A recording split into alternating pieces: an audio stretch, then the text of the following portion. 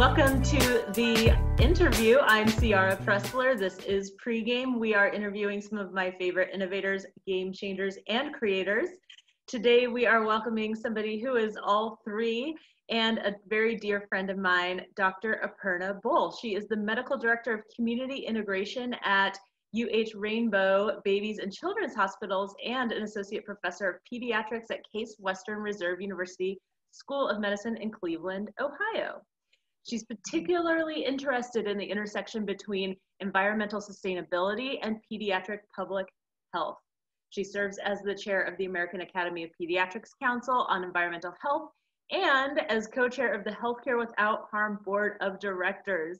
She's also a facility, a faculty affiliate of the Swetland Center for Environmental Health at, at Case Western, a member of the Trust for Public Lands Ohio Advisory Committee, a member of the Lead Safe Cleveland Coalition Steering Committee and State of Ohio's Lead Advisory Council, and a founding advisory council member of the Ohio Clinicians for Climate Action. So we will be talking kids, we will be talking health, and we will be talking uh, environment. Let's welcome Aparna Bole. Well, thank you, Ciara, for having me. And I should say that's Lead Safe Cleveland because I'm oh. I know it's hard to say when you're looking at it, but but that's kind of one of our hot button environmental justice issues around here. So I want to make sure people hear it. But it's nice to be here. Thank you for having me. Thanks for the introduction. I'm excited for the conversation. Me too. Um, we never know where our conversations will end up because we do talk quite often. Um, full disclosure, we're I consider you one of my best friends. and so, likewise, likewise, but it's always a pleasure. And I don't always get to see your face when we do it, so this is a treat. Yes, so we met when we were 16, I think. Yeah, I think maybe our sophomore year in high school. Uh-huh. And we were both in theater and choir and so performed together and I, we became really close in that last semester senioritis time when we were like, let's go to the other side of town and sit in a coffee shop and talk about when we can blow this popsicle stand. right. And then have our cross of our paths have crossed in other places on the East Coast and we stayed in touch in New York City. We got to reconnect and we've stayed in touch all this time. And I feel like even though we were both eager to kind of blow this joint when we were younger, I think we both also kind of returned to some love and nostalgia for our hometown. So it's always fun for me to see you when I'm back. I still say back home, even though I haven't lived there since I was 18. Yeah, definitely. You get out to Portland at least once a year. So I do get to see you pretty often. Mm-hmm. Right. And yes, we were both in New York around our like age 22, first job out of college time. Were we both there? I remember, I always think what September is approaching about 9 11. Had you moved there? Because I yes, was because I moved there in 2000. In October 1st, 2000, I moved to New York and I crashed on your sofa for the first month when I didn't know what I was doing or where I was going to live. That was fun. That was, I, my favorite New York memories, actually. Yeah, and I think you pretty much returned the favor because I've crashed at your place in New York too. So I love it. Well, so now you know we. I, I think we could have known you were going to end up in some places where you are, but did you always want to be a doctor? I don't think I could have articulated that when I was younger. And I, I, feel like I more entered this work because of caring about some of the advocacy issues that I work on now. I mean, I love actually taking care of patients, but I think the platform for the advocacy work is something that sort of led me to medicine rather than kind of the other way around. And so, why did you choose pediatrics? Um, I think for a few reasons. I mean, from a clinical aspect, it's just kind of fun. You have this huge diversity of developmental ages you get to work with from infancy through adolescence. So I get to work with young adults and newborns and everything in between. I really like getting to work with families as a unit. And I also think that pediatrics is a little ahead of the curve among medical disciplines in really thinking about their patients within a larger context. You know, we, we are used to thinking about kids as being part of a family, part of a community, part of a household, you know, living in an environment that influences their health. So a lot of the contemporary discussions about, you know, social determinants of health and these kinds of buzzwords in medicine are you know, maybe the jargon is new, but the philosophy is sort of old hat to pediatricians. So I think it felt like a really good fit to me for a lot of reasons. So talk a little bit about the population that you have worked with in your career and some of the the issues that have become important to you because of that. My patient population here yeah. yeah i mean cleveland is a really um, interesting place for someone who cares a lot about environmental health and justice because there's such a lot of work to do here. There's such a legacy in cleveland of systemic racism and redlining and housing that continues to have huge impacts on our uh, community health. And we, we kind of are known, I guess, infamous for um, being kind of a poster child for that fact. Like a few years ago, I want to say it was maybe in 2014, there was an HBO special on how zip code matters more to your health than your genetic code. And it was neighborhoods in Cleveland that were used to illustrate that, that with two neighborhoods just like eight miles apart, one in downtown Cleveland on the east side of Cleveland, in a historically red line, disinvested neighborhood compared to a neighborhood eight miles away in a wealthier suburb the life expectancy difference between a baby born in those two neighborhoods is 24 years, which is a huge number. Wow. Hardly unique. I mean, there are many other cities that experience this reality, but um, Cleveland has been kind of held up as an example, and, and for good reason. We are an extremely segregated city, and we have huge health disparities and pediatric outcomes as well. So I, I mentioned life expectancy, but the disparity between like black and white infant mortality in Cleveland is enormous. I think it's it's maybe the worst, if not one of the worst in the country in terms of the, the difference. Same is true of maternal complications post childbirth and during pregnancy. Um, we have huge disparities in issues like um, developmental health and school readiness for children and all kinds of other health outcomes. so I actually practice on the east side of Cleveland, kind of in the heart of some of these uh, red line neighborhoods that um, that were featured in the HBO special. We have a pretty large um, catchment area, so we have some geographic diversity in the patients we see, but definitely the heart of our practice is right and on the east side of Cleveland. And so um, these sort of downstream health effects of systemic racism, of some of these um, misguided housing and environmental policies, all of the other determinants that make up a community's well-being, a lot of those downstream effects are what I see every day um, in the patients that I serve definitely heightened at the time of COVID, and we can talk about that, but um, it definitely keeps my heart right where it should be, which is what people are really experiencing, what is the lived experience of our community because of some of these um, sort of systemic issues. And it really grounds me in my advocacy to focus on the real people that I serve. Yeah, you know, you mentioned or clarified lead. Um, I remember when Flint was in the news, you know, for its its lead content in the water, you pointed out that Cleveland has the same problem or possibly worse. That's true. So, I mean, I think the, the water crisis in Flint was obviously an outrage and an injustice that continues to cause people in that community to suffer. Um, I think it's, um, i so admire the action of the community and the pediatrician, Dr. Hanna-Attisha, who um, was really a whistleblower around the outrage that was perpetrated in Flint. Um, the good thing about um, sort of the ripple effects of that um, episode is that I think it turned the country's attention on the longstanding issue of lead poisoning and lead exposure. It is a huge environmental injustice that continues to exist in many American cities. I think the downside, if there is one, is that it, it created this big focus on lead in water, and people forget or it, um, maybe never knew that in most cities, uh, housing, paint, and soil are the primary routes of exposure. And it also, to lead, and it also, I think, may have created an impression that Flint was somehow unique in this crisis. And as you mentioned, um, cities like Cleveland, if you look at the prevalence of lead poisoning, are actually, it's actually far higher than in Flint. In fact, the city of Cleveland, the, the prevalence of lead poisoning is at least twice the prevalence of lead poisoning at the peak of the Flint water crisis. And that's just like our baseline. It's mostly from paint and soil.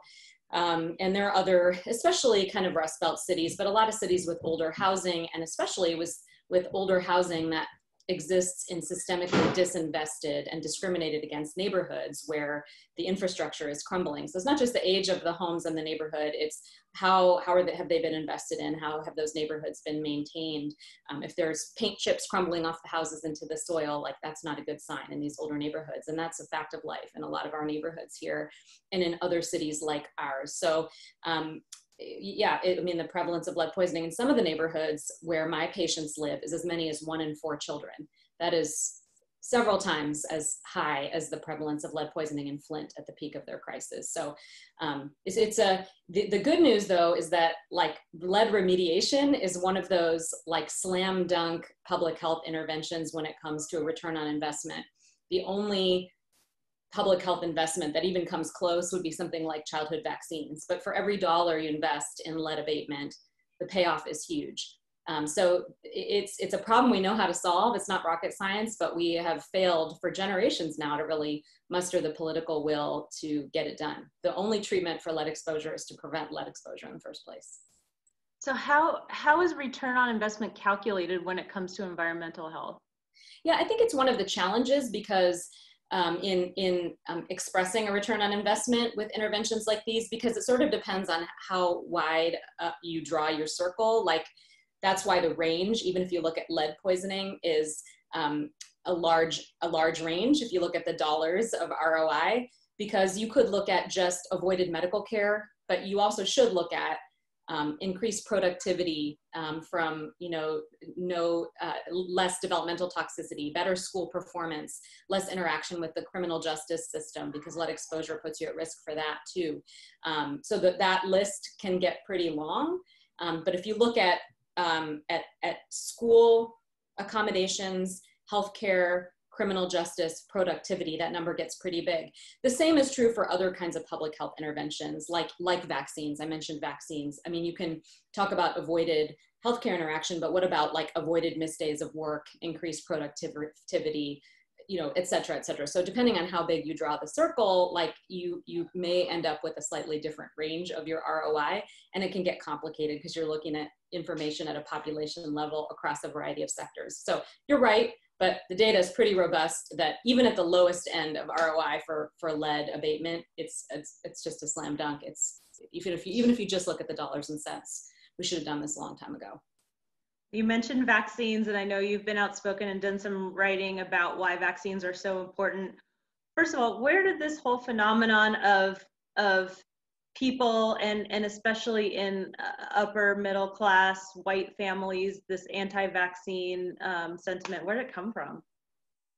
You know i think it's a complex question. There are a lot of people who study the psychology of how people consume scientific and health information. I'm not one of those. I can tell you like what i observe. I think sometimes there is um, this feeling that we want to do things that are natural or that you know that that we want to avoid unnecessary interventions or we're worried about chemical exposure. So there can be this um, feeling that like less is more and that means that a vaccine is an intervention that I don't need. I sometimes hear that. I think the biggest thing is that vaccines have been a victim of their own success. Like people haven't seen the devastating consequences of vaccine preventable diseases um, at, at, a large population scale. You know, there are countries where people walk for miles to get their kids vaccinated against polio because they see how devastating polio is every day.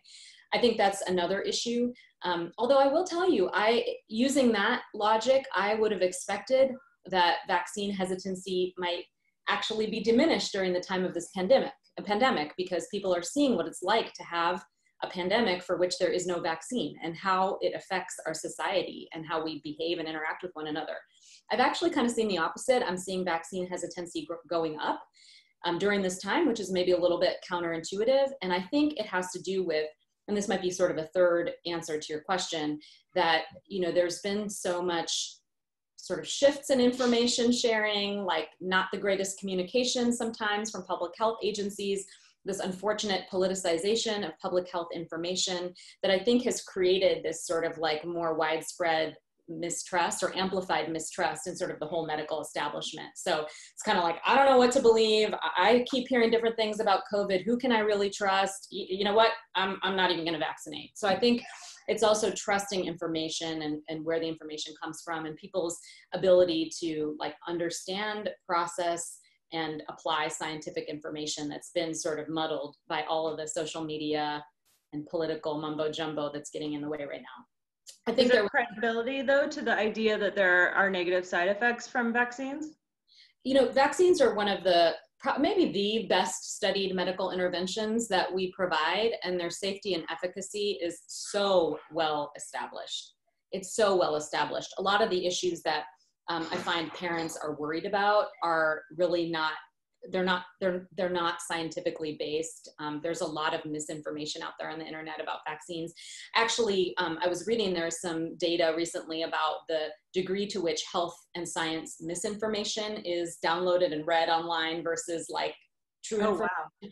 Um, I, I, feel like I saw it on on social media, ironically, but I think it was it was saying that that disinformation and misinformation is is more likely to be read than real information when you look at health and science. I mean, vaccines are one category, climate change is another. There are a lot of other COVID information. Um, I also think the other the other issue about about vaccines is that people misunderstand like it is a personal choice, but it's not just to protect yourself. Like people think, well, what's it to you if I don't vaccinate my kids? Well, I try to remind people in our community we're lucky that the vaccine rates as a community are relatively high. So you can kind of get away with not being vaccinated a little bit better than in a, a, community that has lower vaccination rates because as you know there's that herd immunity effect where we're creating this sort of wall of immunity to protect our entire community from some of these diseases and sometimes we're protecting the most vulnerable among us who can't be vaccinated at all like a newborn or somebody getting cancer chemotherapy or, or, what have you. So I think people misunderstand that aspect. Um, and I, one of the things I, you know, there are so many evidence-based ways, this is something that I share with my patients, so many evidence-based ways to avoid chemicals of concern in our lives when it comes to consumer products, food, cleaning materials. There's so many evidence-based ways that we can, you know, become empowered about avoiding chemicals of concern in our households vaccines are not one of them. And like I'm telling you, a lot of times I'll talk to people who are worried about chemical exposure from vaccines, but they haven't really thought about, well, what about these other, like actually evidence-based ways for us to um, to avoid chemical exposures? And it, it can be illuminating for people. And I think sharing that with families is one way to say, look, let's, yeah, sure, let's talk about chemical avoidance. Here we go. Here's what I can tell you about why vaccines are safe and effective there is so much literature that that would take hours so i won't bore you but but i often will give families like a bibliography if you really want to go read every primary study um, have at it but it's extremely well studied. I think most of those concerns are very ill uh, uh, unfounded and i also think that there's a lack of understanding about about how vaccines actually work as well as what the dire consequences would be if our immunization rates were to dip below sort of a critical level so so how can, with social media and so much of every, all the information we get is online these days, how do we as, as regular non-medical people, you know, vet the information that we're consuming to make sure it's reliable? Yeah, I think that's kind of the million dollar question for all of us. Like, like there's so much study in the communication realm and in the science realm about like the psychology of how information is consumed and also like the tactics we can use to be more thoughtful and mindful about about our sources of, of information. I mean, I definitely think like looking at the source, um, if it's a an organization or an agency, like looking at that organization or agency's history of affiliations or funders or endorsements is helpful. I think that um, if it's an individual, what is that person's credential? Do they have any major conflicts of interest? I know that's hard to do every time you read an article, like that feels like a lot. But but if you're i don't know I, I would hope that if we're consuming information that's changing our minds about something or changing the way we're behaving like let's be really careful about who is giving us that information and what their conflicts of interest might be. I think that's really important. I've seen people like people i like and trust who who will share things on social media like um, that that that clearly come from a source where with a simple google search you can see that there this is not like it's it's not a real news organization. Maybe it's a shell organization. Maybe it's funded by a special interest group. Um, a, a, friend shared some anti-vax information from this group that sounded like a med- medical professional society and i honestly can't even remember what it's called but it has like physicians and surgeons in the title. And there are people with medical degrees in this organization, but if you look them up, you'll see that they are a conservative activist organization that also publishes information that is anti immigrant, false information about reproductive health. I mean, demonstrably false information about reproductive health, false information about birth control and breast cancer, all kinds of things that are just demonstrably false. And so if you just Google that group, you can see that they have these political affiliations. And while you may like what they have to say about vaccines, if you have to happen to be anti-vax yourself, you see that like everything else they publish, you're like, that's not true. I, I know it's not true. They're making up stuff about immigrants or about race and health and I mean things that are just false. Then I would hope that you would then question, okay, well, even though this information is what I wanted to hear, it's coming from an organization that puts out false stuff all the time. I think we like to read what reinforce, you know, it's that confirmation bias. So I hope that we, I mean, me too, can get beyond that to actually see like who's saying it, what's their credential, what's their affiliation, and is there a conflict of interest? So what do you think is, I guess is a two-part question, uh, realistically, how soon will we have a COVID vaccine and um, will people take it? I don't know what's realistic. I think that we are, you know, I've heard some super optimistic politicians talk about having a widely available vaccine in a matter of months. I don't see how that could happen so rapidly because I mean, I think the testing of vaccine, uh, a vaccine around the world is actually, it's going, you know, it's moving quite rapidly, but there's still safety testing to be done. There's still, there's an element of scaling the manufacture of the vaccine. I just don't believe that it, we're talking about a matter of like a couple months. I mean, I've heard some politicians talking about like by the end of the year, I just would be shocked. Um, that's just me speculating. I'm not deep in the, the sort of public health world of vaccine development or, or even of COVID response. Um, so I think it, it I, I, mean, it would be to me at, at, best well into next year, but I, I honestly can't say. And I definitely would not hang my hat on a super optimistic date. I don't think that that's realistic. And as far as whether people will take it, you know, I don't know because as I said, I was a little surprised by how baseline levels of vaccine hesitancy for existing well-established vaccines has, has dropped during the pandemic. So I, if you had asked me like at the onset of all of this, would people take it? I would say, yeah. I mean, people would be in line to take it. But now I'm like, I don't know because there's been so much confusion about the information that's out there that's really, unfortunately, eroded public trust. And it's really hard to win that back. So I'd like to think that a critical mass of us would, would get vaccinated, but I don't know. I don't know. I saw a meme that was like, if there were a treatment for COVID that prevented it 97% of the time, would you take it? And then like the punchline was, it's a mask. And like, look how many people are not wearing masks. That's a good point. I mean, I think that's a, that's a good sort of like, unfortunately, barometer of how a lot of the misinformation and confusing information has affected people's behavior. So yeah, it's it, honestly like trust of public health information is priceless, and I I'm sorry to see that it's been eroded. And you're you're right. And I actually read another really interesting article about how this was about school reopenings, but it was talking about how in the states that were less least likely to have mask mandates, who now have some of the highest rates of transmission, are also the most likely ones to have schools open. I think it was like in the New York Times last week. Whereas states that have been the most adherent to mask mandates, like in the Northeast, and now their transmission rates are very low, extremely low, are also the least likely to have their schools open, which is so interesting. Like, like I had a, I have a colleague who wrote a great piece about this um, in the Atlantic about how, okay, we use evidence to close down. Now let's use evidence to carefully reopen in some of these states that are actually doing quite well. But ironically and sadly, the states that probably have no business reopening because they are have out of control community transmission rates, terrible mask adherence, no mandates around masks. Those are the ones that are kind of throwing the doors open. So it's just this mismatch that seems largely cultural and not evidence based, which is really unfortunate. So, what is your opinion on schools uh, back to school season as a doctor and as a parent?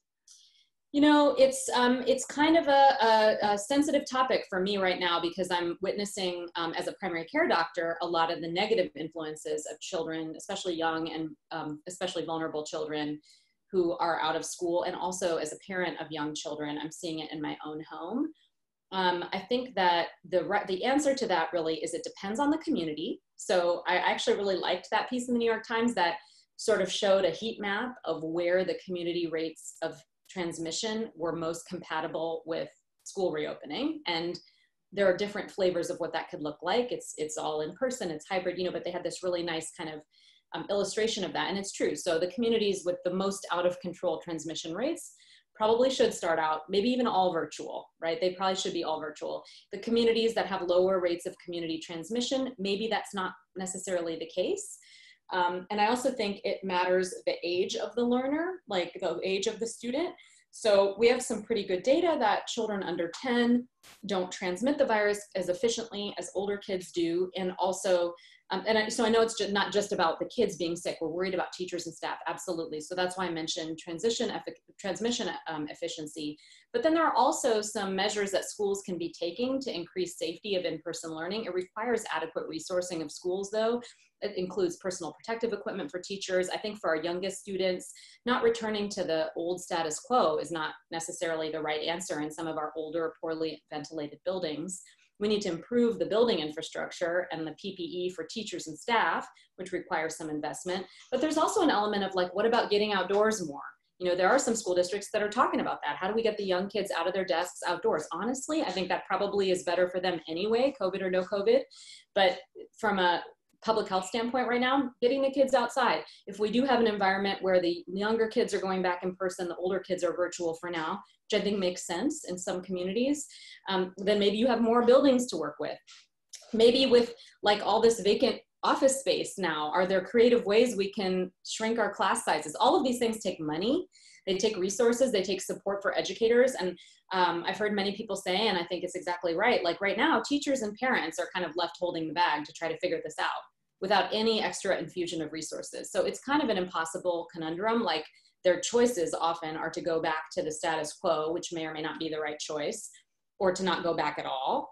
And it's also difficult to have these kinds of flexible, flexible solutions without um, an infusion of resources. What I'll tell you though is this, I do think we are understating the risk to students, especially the youngest students, most vulnerable students of being home. I think too often in the popular media, it's it's like the risks of going to school are amplified right now because everybody's worried about covid the risks of staying home are understated. I am tell I, I, am seeing such an uptick in mental health issues, kids who are obese getting more obese, a lack of recreation, their developmental needs are not being met, especially our youngest students. Virtual kindergarten, I mean, having done this in my own home, it just is hard to do well. I mean, the, there's no substitute for those kids being with their peer group at that age. Kids with special needs who get a lot of their therapies at school. You know, and for a lot of kids, school is a lifeline in a lot of ways. Um, and you may, we may argue like, I think too much of a burden is probably placed on schools anyway by a society that has kids living in unsafe conditions, not necessarily have enough food to eat and the schools are filling in for a lot of that. And that's probably not appropriate. We need to actually invest in communities in other ways, but it's a fact right now. So there are kids who are, um, who, for whom school is a lifeline beyond the learning opportunities who lack that lifeline. And so their mental, physical, developmental health is suffering greatly. I mean, this is going to be a burden that I think a price we are paying for a very long time. I mean, upticks in, in child abuse and neglect. I mean, we have parents who are desperate. They're, they have to work. They're essential workers. Their kids are not in school. They're, they're scrambling to find childcare, sometimes in suboptimal conditions. School also often picks up on child abuse and neglect. So we're also seeing that the reporting of these issues through the schools is threatened by this. Um, you know, and then we're seeing, like in my community, there are these quote unquote, and I kid you not, in-person, in-person virtual learning centers that private enterprises are offering to desperate families to pay for their kids to be in a classroom to sit on a computer with their teacher at home. I mean, it's just, I think we're not framing the issue of schools in the right way. It should not be, is it safe for kids to go back to school? It is, how can we collectively make it safe for kids and teachers to get back to school. It's a collective challenge. I think we need like these kinds of out of box thinking of getting kids outside, spreading kids out in creative ways. Maybe it's not a one size fits all for every age, for every community, but this idea that it's like two choices back to the status quo or everybody at home, and then every parent and teacher for him or herself to me is just not sustainable. And it amplifies the enormous inequities that already exist. In my community, the private schools are all back in person. Public schools are not. Wow. Uh, and so what does that mean for people? I, you know, their parents hiring teachers and these like, you know, educators to be at their house to shepherd their kids through the school day in these pods or whatever, you know, it's just, to me, it's going to just widen the gaps that already existed I, I think it's not about is it safe for kids? It's how do we make it safe? There's no choice. This like marking time forever. Um, if people don't realize it now, we will realize with these children who who are having these enormous detriments to their physical, mental, and developmental health for being at home. Um, we're, we're going to be reaping what we've sown for a long time. And I really struggle with that. As a primary care doctor, I don't take care of as many of the sickest of the sick. And I totally, totally respect that we want to avoid the enormous risk uh, that COVID can pose for, for, for, you know, people, some people who are infected. Absolutely. Um, so I'm not suggesting we just throw open the doors without, without thinking about managing those risks. But as a primary care doctor, what I see is the enormous burden that is more chronic that we're going to be suffering for a long time. So I guess that's my that's my feeling. Not a one size fits all. We need more resources and we need to reframe the conversation to recognize that schools are every bit as essential as healthcare. And more essential maybe than restaurants and bars, as some people and are making the point. And casinos. Why are our casinos open and the and elementary schools not open? That to me is just wildly backwards. Um, and I'm I'm an essential worker too. You know, I've been working this whole time. I know it's I know that it's hard to think about managing risk in a in a landscape of uncertainty. Like our own masking requirements changed wildly throughout the pandemic. We were going with and without PPE to work. I had kids coughing in my face. Like I, I know, and we have nurses in that position, environmental services staff in that position. I wouldn't wish that on anybody. But the fact is, we do have more information now than we did in March and so this idea that we're just kind of paralyzed waiting until it's like magically okay for schools to just go back to the status quo, I, I find it disappointing because I think if this could be an opportunity for, for some creativity and out of the box thinking to get especially our youngest and most vulnerable kids back sooner rather than later, I mean, that's what we all want. And unfortunately, the teachers and schools were left with an impossible choice because they did not have any infusion of resources or other sectors kind of helping out it's becoming clear how interwoven the environment or environmental health and, and children's health are. They're one and the same. Um, how did you first get interested in uh, being an environmental activist alongside your medical practice?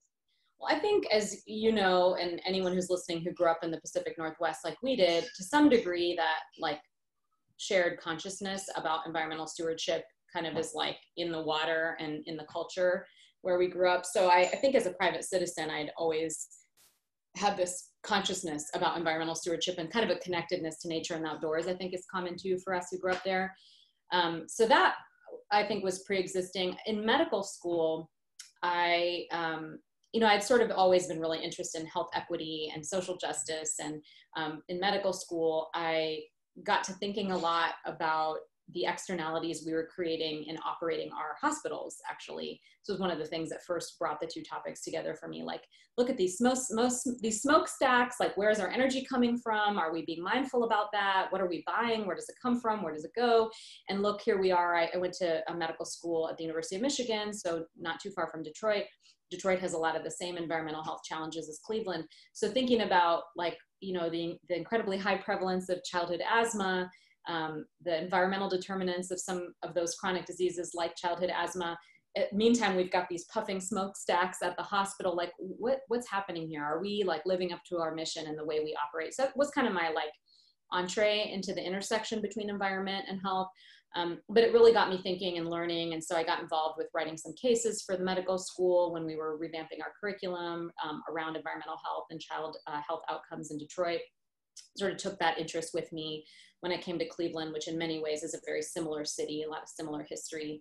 Um, so some of those learnings. And so, um, and, and now practicing in a city where the, the consequences of systemic injustice are so writ large in my patients to be able to really see, you know, I treat lead poisoning in my clinic. Well, that is really a problem of housing. The prescription for that problem is safe housing, you know, or seeing that air pollution is responsible for so many asthma exacerbations. It also contributes to birth outcomes, contributes to school readiness. So to, to be like down here, sort of trying to treat the downstream impacts of these issues um, really makes me feel like I want to double down on intervening upstream. Like the prescription for those problems is not really an inhaler or more medical care. It's it's clean air, it's safe housing, it's clean water. Um, the other thing I'll say is that um, race in the United States is the best predictor, the single best predictor of proximity uh, to environmental health hazards. So it, it, sort of is just kind of in the same column as uh, it, it belongs in the conversation about systemic racism and health inequality because environmental injustice is a huge piece of that, whether we're talking about air pollution, housing, water, chemical exposures. Um, it's not by accident, it's by design. And I would say even further, you know, with climate change being sort of like the biggest public health and environmental health threat of our time, um, it's not just about disproportionate impacts of the health outcomes of environmental hazards, including climate change, which is primarily a public health issue to me. It's also about the root cause of some of these um, discrepancies. And I've actually heard some of my environmental justice colleagues talk about climate change in a way that really makes it clear that climate change is the result of uh, a culture that's based on extraction, exploitation, and disposal. Like it's it's no accident. When people are are expendable, the planet is expendable. So I think um, the sort of intertwined nature of social justice and health equity and environmental issues are deeply intertwined. And and I think as a pediatrician, you're like you have a front row seat to see that because nobody is more harmed than kids the kind of people who come to the pregame community you know do care very much about what's going on in the world but what happens is you know there's that first step of awareness. We find out that these problems exist if we didn't grow up around them. And then you know there's there's an emotional reaction. You know we feel very um, you know sad angry sorrowful. And and then sometimes that can lead to impotence instead of action. And so with problems as huge as climate change how do we even begin to take action you know when the problem is so massive yeah i think that that's a common um, issue that we that we all face when we are confronted with these like massive these these massive problems whether it's and they're not unrelated problems, whether it's climate change or it's systemic racism or it's economic injustice or it's health inequality like those to me are all kind of the same problem. But however you want to say them you you feel like oh my gosh this is like a global existential crisis. What, what do i do? Um, i think when it, when it comes to acting on climate the thing that i feel really um, hopeful about is that there's so many local actions that we can take that are powerful and I think that there's a growing coalition of voices beyond sort of the traditional environmental movement that really are kind of connecting the dots between some of these big ticket issues I just I just described. I find that pretty hope inspiring too. That whether it's a, a, a, person who comes from environmental stewardship or comes from like a racial justice point of view or comes from a health equity point of view, like we're all starting to speak the same language. I think that's pretty inspiring and reassuring. I also think that a lot of local action around like what you eat, how you get around, and where you live, those are meaningful in your own impact on the climate, as well as you, the example that you show to others. Um, and I think that we, the other thing I would say is that when it comes to climate change, we have the technology to accelerate to a clean energy economy right now. Yesterday, we have it. It's becoming more and more economically um, competitive to do so there's no the only reason we aren't doing it is that we lack the political will to do it. So each of us has the power to build that in our own networks and communities. I mean i think in this year 2020 that means like like access to, to democracy is a big part of the solution to some of these big problems. Um, so actually we have a, a coalition of clinicians in ohio who are focused on climate change and health related advocacy. There's actually a growing number of state coalitions like that all over the country, which is another thing I find pretty inspiring. And one of the things we're doing, one of our action items this year is we, like to provide a prescription for democracy, like helping our patients and staff and each other register to vote and make sure that we vote. Like even within our practices, we, we register patients to vote in clinic. Wow. Totally nonpartisan, right? We're just saying we want you to, so there's nothing prescriptive about it. It's just uh, about the, how you vote. Prescription is part of like your health and your community's health is to vote. And part of your health is to fill out the census. Like we, we're doing that in our practice. We have census outreach and voter outreach in our practice, and we're definitely not alone. And so, back to your question about what individuals can do, like we all have a role to play in um, increasing voter turnout and access to democracy and setting an example for our peers framing the issue of climate change as a public health emergency, I think is really important, and connecting the dots with each other and our policymakers about how systemic racism climate change and environmental injustice, economic inequity, and everything that's being underscored by COVID, like those are not separate problems. They're all the same thing and they share common solutions. So I think we all have a role to play there and it can feel big and daunting.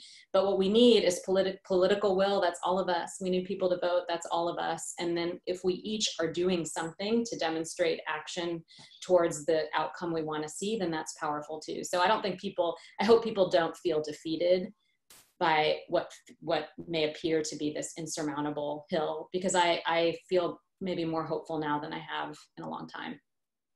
Yeah, my fantasy at the beginning of COVID was, you know, when the whole world was staying home in this brief moment in time in March and April, and the earth literally got to breathe because we weren't traveling and, and all the other things we weren't doing. You know, it, it showed we have the will or the ability at least to take rapid action in a crisis? And what if we could treat climate change with the same urgency? That's exactly right. We know how powerful we can be collectively because communities that did rapidly respond to the pandemic i mean how powerful. Um, and so I, I think it shows that we have the collective will to take bold actions when when we commit to it collectively. And you're, you're absolutely right. Whether it's climate change or systemic racism, it's the same kind of bold collective action. We should treat those like the existential crises they really are. Um, and I also think that, you know, it's the unfortunate part about a little bit of what you just said and how people think about it is that this idea that we had to sort of like shut down and be disconnected from our regular lives and somehow that's what it takes to solve climate change because we did say that you know, it is true that air pollution went way down when people were quarantined. But I, I just see it a different way. I just feel like, wow, how resilient is the earth that earth can take a breath with us doing this for a relatively short amount of time. I think that's very hope inspiring. And I think instead, it's like, just like we were talking about with schools, like we should not just be marking time to go back to the way we used to do things. I really hope that this year is like a, a, a pivot point where it's, it's, it's about like going back to a better normal that is closer to the kind of like just sustainable regenerative economy that is going to you know carry us into the future. Because if we go back to the way things were before we'll be just as vulnerable to a crisis like this. Like clearly our supposed prosperity was you know a, a house of cards because like this pandemic blows through and we it's just showed what what our weaknesses really are what they always have been. So that's why i think like if we're using this as a pivot point to return to a new normal that to me would be like the ideal outcome from everything that's gone on over the past year. But it is amazing. I mean that that that those striking pictures of cleaner air like i i mean it was striking. And you know the jury's still out about some of the stuff i'm, I'm gonna say but i'll just i'll point out for example that the rates of premature birth during this pandemic have gone way down. Now there's probably multiple reasons for that but i wonder if a if a cleaner air is not part of it because dirty air is an important determinant of premature birth. I mean, I heard someone speculating on the radio about this and he was like, oh, maybe it's like women are home from work and they're less stressed. And I don't know, maybe some people are less stressed, but some of our most vulnerable moms, our most at risk expectant moms, are not relaxing during this pandemic. Yeah, I know a lot of people are stressed. Stressful. It's super right. It's super stressful for some of our most vulnerable people. So I'm not sure I buy that. I think air pollution got going down is a better explanation. I'm sure it's a number of things, but it's interesting. It'll be interesting to learn from and unpack all of that. Definitely. Um, so you've been doing so much work behind the scenes with different organizations um, as an activist in this space.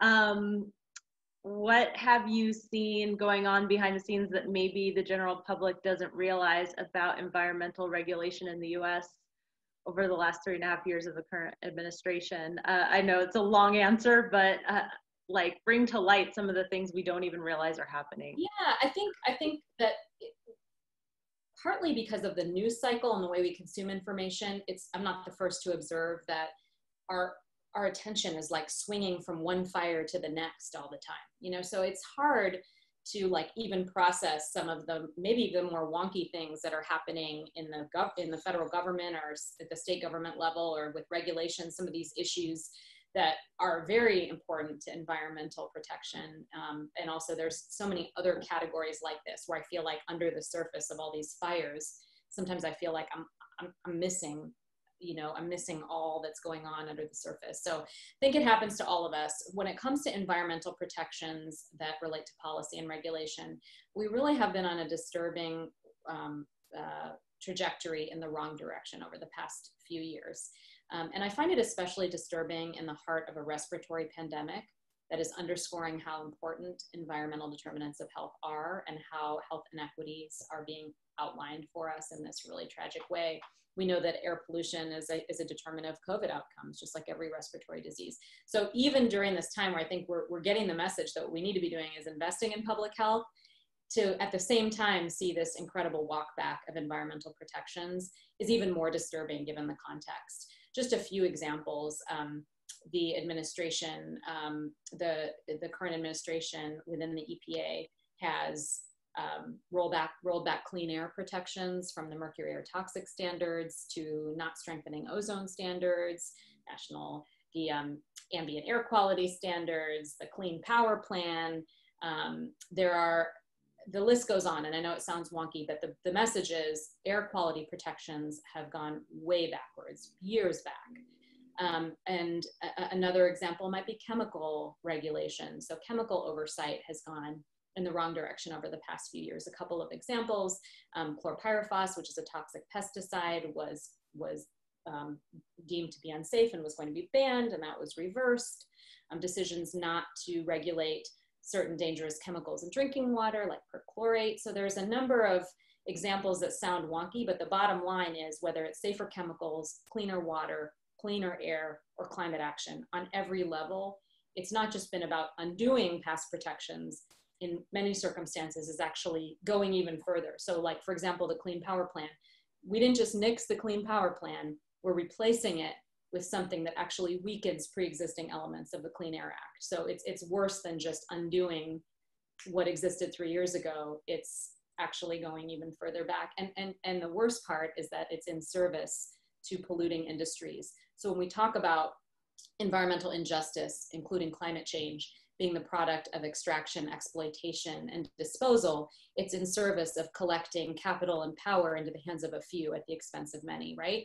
And that's exactly what these regulations are reinforcing is to put power and money in the pockets of polluting industries at the expense of all of the rest of us. Because if you look at, at who is making those decisions in the EPA, we have a former, former coal lobbyist who's leading the EPA. Um, we have people who are industry representatives really steering the ship. It's really like the fox guarding the henhouse.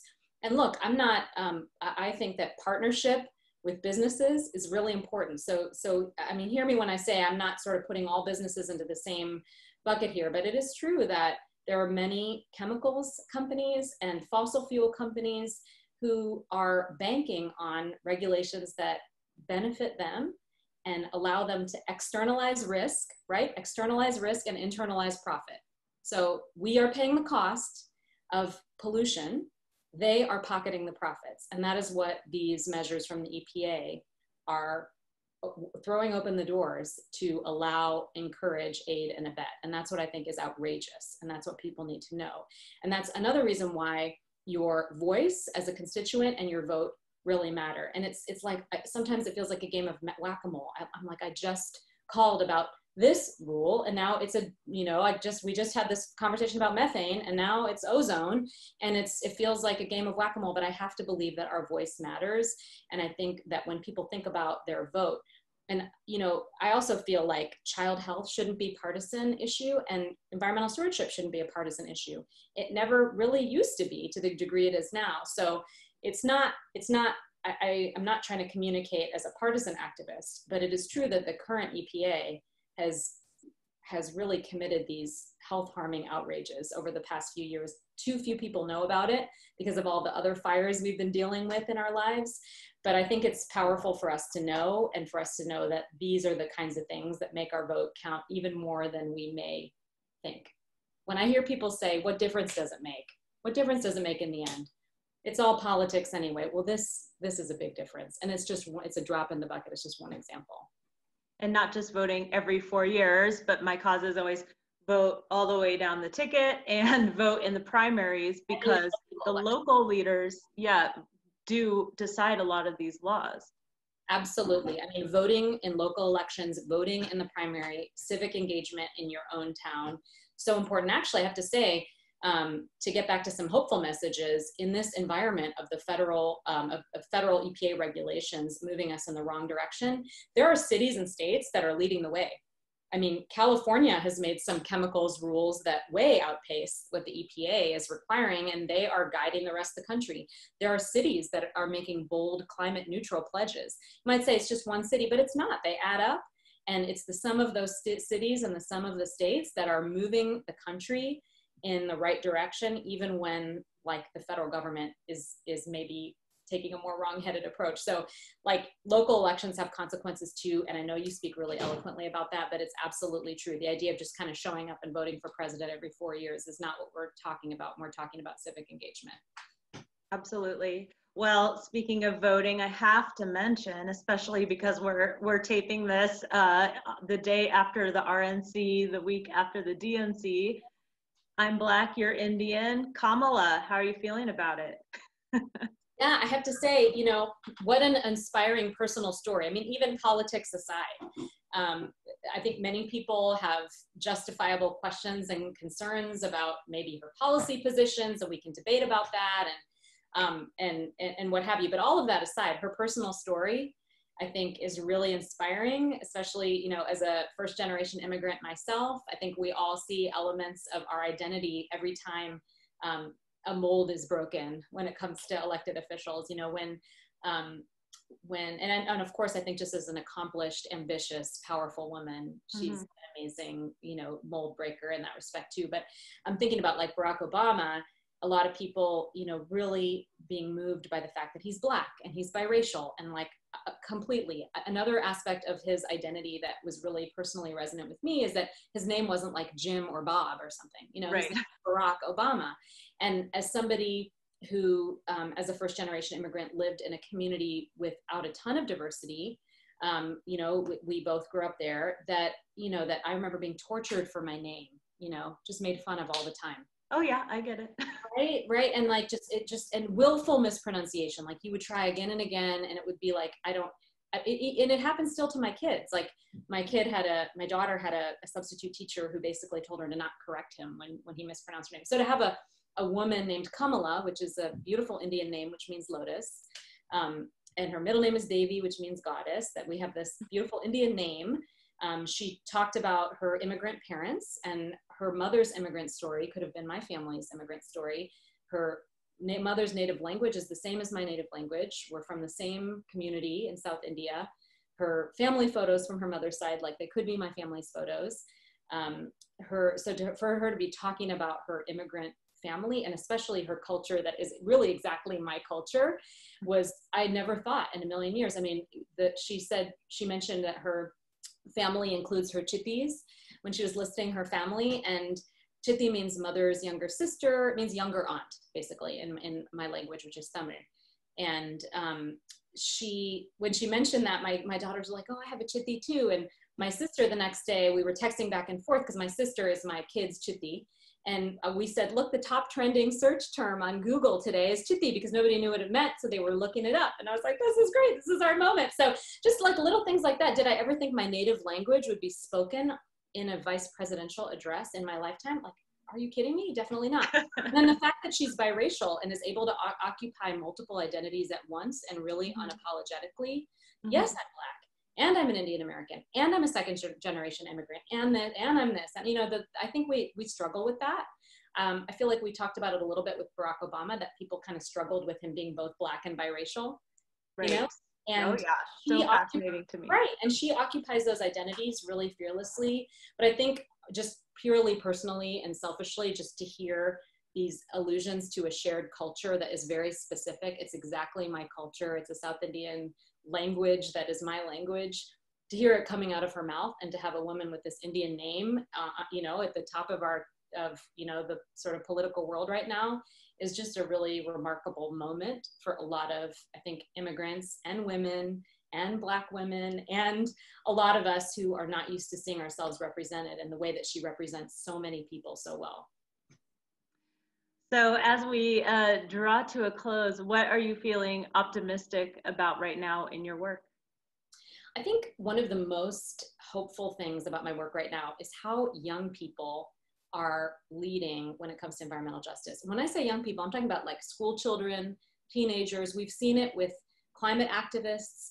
Um, we've seen it in the environmental justice movement. I mean, I have had the privilege of seeing indigenous youth, black young people, Hispanic young people, frontline communities whose young people are stepping up to take the reins and like own their power and demand environmental justice. And they have no trouble seeing the connected dots between health equity and racial inequity and racism and environmental justice like all these issues i think the youth that are leading right now like they don't need to be taught how those two those all those things go together. I think the rest of us sometimes are catching up. So i think youth leadership is really giving me hope.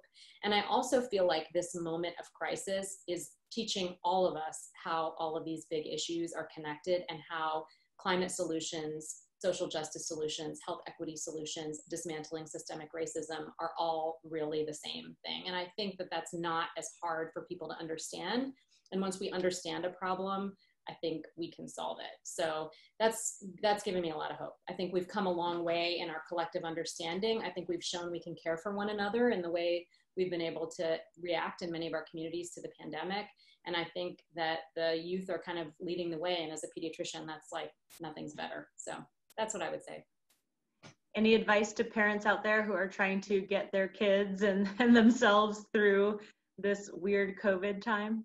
Yeah, I just hope that parent, I'm speaking to myself here too. I hope parents will have some grace with themselves. Um, I think that I, I, hope that they have some grace with their kids. It's just, it's a time that is really challenging for everyone. And I guess I would say too that um, I think I've heard you say like use the term suffering Olympics. Like, yeah, yeah like i think that we sometimes get stuck in a lot of different ways when we sort of place ourselves in in context like i've heard some families say well I know that relatively speaking, it could be worse, and I have a lot of privileges, so I don't really want to complain. It's like, you know what? That's true. You can acknowledge your privilege, and still your pain can be real, and we need to acknowledge it, and it, it owe, you're owed attention. You know what I mean? And similarly, like parents who are so hard on themselves, or you know hard on their kids. It's just it's i think it's a hard time. So i think having having some grace like yeah acknowledging what's going on around you but validating that what you're feeling deserves some attention. Um, and then you know i think a lot about kids and families because of my profession but to me like the kind of community building that i'm aiming for in all of my advocacy is not limited to kids and families. And some of the people i love the most are not parents um, there are plenty of people who have different family structures. There are plenty of people who live alone. There are plenty of people um, who rely on their village who are their chosen family. And that's really hard right now because you, you like you have to be really choosy about who you can be with and you miss your village and even though i am a parent like my village and my chosen family is really important to me too so i guess i just want to say for parents and kids have some grace but also let's remember that we have child free friends we have parent, kids, people who are not parents, we have older people, we've got people of all ages with different family structures who need to be acknowledged too. I think it's a way of, of bringing us together to have some consciousness around that. Very well said. Thank you so much, Aparna, for your time today and for all the work that you're doing on behalf of our community and our country. Thanks for having me. It was a pleasure. Take care. Awesome. Have a great weekend, everybody. Game on. Bye. Spit it cold like lyrically, I'm a problem. That's when the show starts.